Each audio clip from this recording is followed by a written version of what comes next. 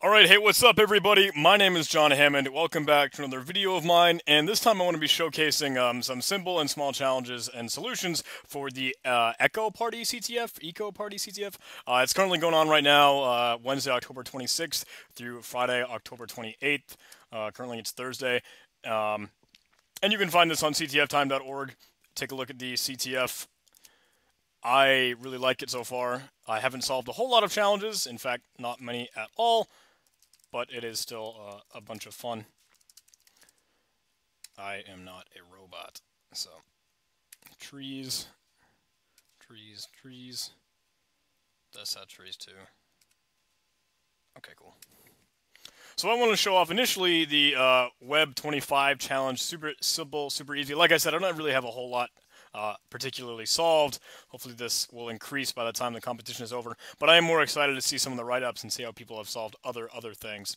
So the Web 25 challenge has had a bunch of people solve it because honestly it's not that hard at all. Um, the title of the challenge is Mr. Robot and uh, the, the prompt is disallow it. So this robot and disallow are all hints and references to the common uh, robots.txt file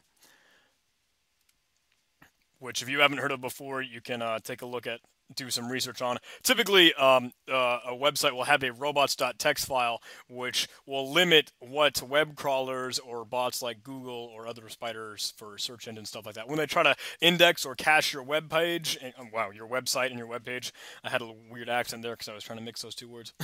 um, this file, robots.txt, can determine, hey, don't try and index or don't try and cache these pages. I want to leave them alone. I want to disallow you as the bot to be able to see them. But it is still like a completely visible, like, you know, like publicly accessible and visible file.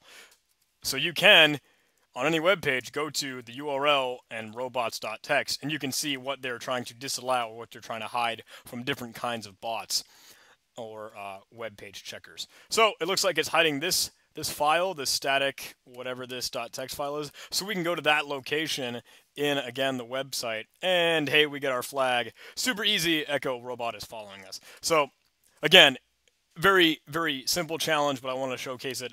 And uh, in case you haven't heard of it, the robots.txt file is a common, very, very common, like beginning, beginner and basic uh, CTF challenge uh, and exercise. So yeah, you could totally, if you wanted to submit that and get your points for it, I have already submitted it and gotten the, the super small, super simple 25 points, but still a nice challenge.